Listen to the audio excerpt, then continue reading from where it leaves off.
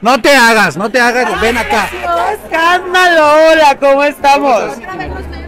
Otra vez nos di... Ay, cabrón, ya me acordé de ti. Mucha polémica que haces. ¿Nosotros o tú?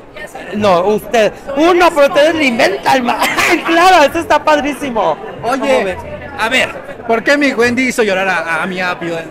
No, no lo hizo, no lo hizo llorar, simplemente como que fue un arrancón, obviamente de estar en el reventón. Ustedes bien saben, ustedes bien saben que ya uno con copas arriba, uno se transforma. Eso fue lo que le pasó a ella. Pero se fijaron que le pidió disculpas, lo abrazó, todo siguió normal, mucha gente se molestó y pues es un juego.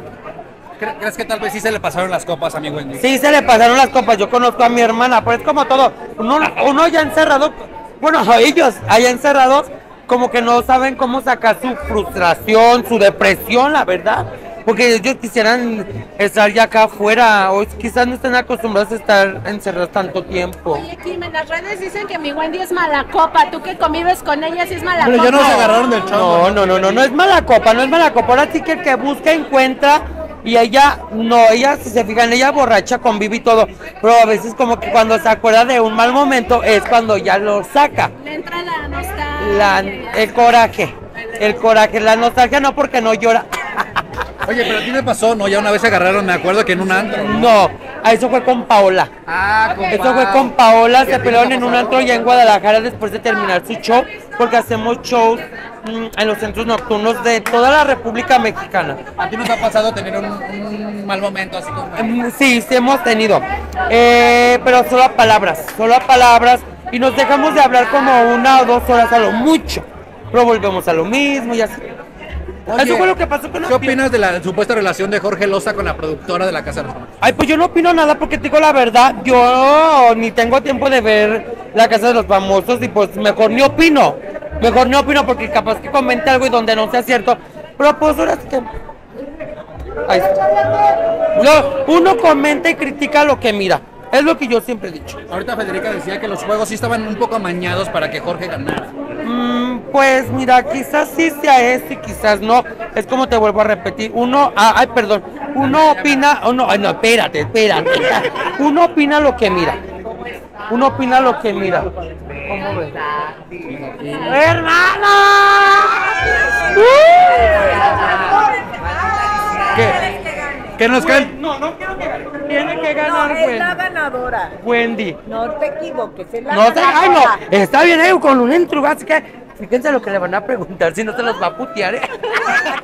Sí. Amamos a la Wendy. Amamos que gane, queremos Wendy. Ay, cabrón, trae muchas porras la hermana. Ay, qué Enséñale a linda. cantar la guadalupana, mi Kimberly. Ay. No, ya la cantamos mucho. Ya la cantamos mucho, ya me, ya yo creo que hasta la aprenden ustedes, La cabrones. cantamos con Yo creo que el 31 no se vayan a perder con la Así- Entonces, mi Kimberly, Wendy la ganadora. Mm, No me gusta esa foto. Ahorita la detienes para tomármela. Sí. Wendy la ganadora. Wendy la ganadora, claro que sí, lo que todos sabemos ya.